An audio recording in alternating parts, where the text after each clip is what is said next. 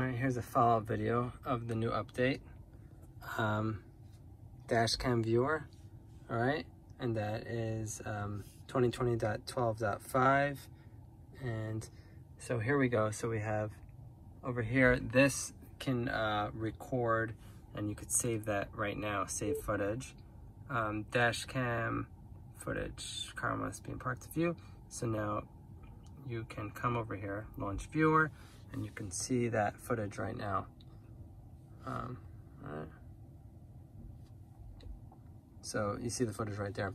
Now, if um, this also works now, so it, it took time to load, but we can scroll back footage over here and you can look at, let's say this one. This is when I hit a deer.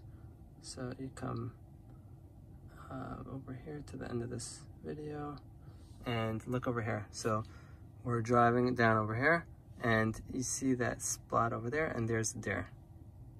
Hit the deer. Uh, you can watch my video of it, but if you want to see the right camera, we're gonna hit it. There we go, that was it. Um, and rear. If you want to see the rear video um, of this hitting the deer.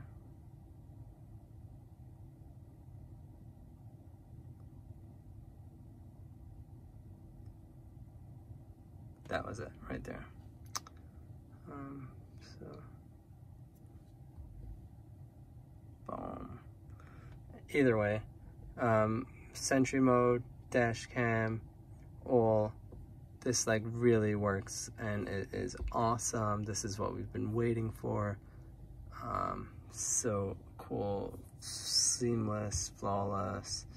It did take some time for it to load my cam, my dash cam footage from my hard drive. I have a one terabyte hard drive and you can switch between cameras. Oh my God, this is awesome. This is like, you have to be in park for it to work and you could record right now. That's recording right now.